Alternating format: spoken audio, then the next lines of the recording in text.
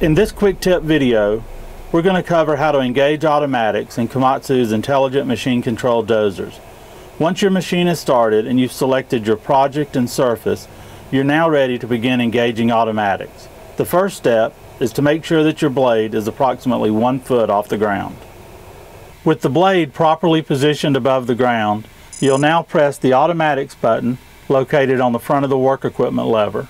At this point, you'll notice the word auto come on on the bottom of the monitor. Now we're going to track the machine forward, tap the work equipment lever down and release, and automatics will engage. Once you get to the end of your pass and you begin to back up, there's no need to disengage automatics. Simply tap the work equipment lever back and release and the blade will raise to a predetermined height.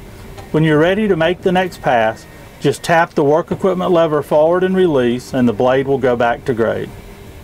This machine comes equipped with an auto reverse grading feature for those times when you need to finish grade and reverse. Once you press the auto reverse switch located next to the work equipment lever, a small R will appear next to the auto symbol on the monitor. This indicates that you're now ready to finish grade and reverse.